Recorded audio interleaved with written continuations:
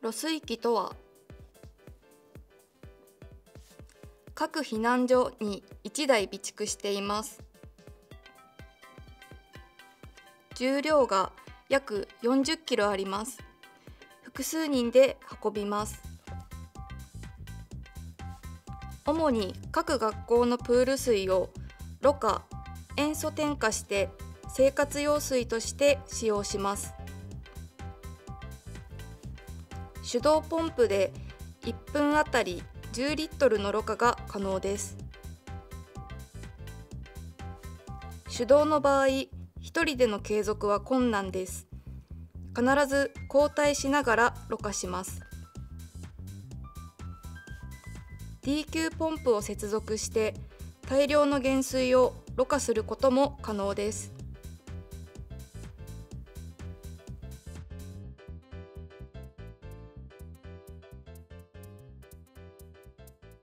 赤色の長いホースを減水口に接続します。緑色の短いホースを生産水出口に接続します。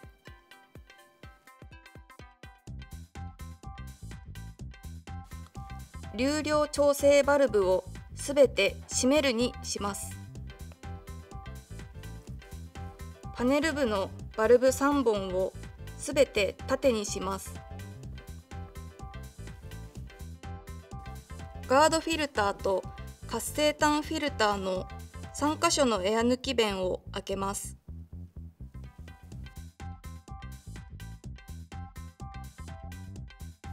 3箇所のエア抜き弁から水があふれ出るまでハンドポンプの柄を前後に動かします。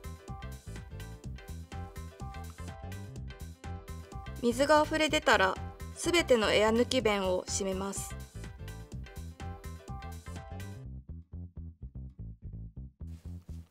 エア抜き弁を閉めた後ハンドポンプの柄を前後に動かし続けると生産水ホースから水が出ます。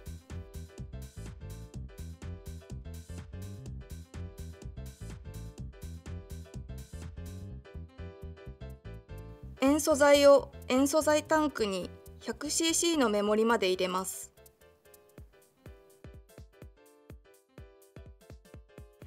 タンクいっぱいまで生産水を入れ塩素剤を薄めます。タンクの蓋を閉め黒色のチューブをタンクの中に入れ塩素水を吸い上げるようセットします。ニードルバルブを開きます。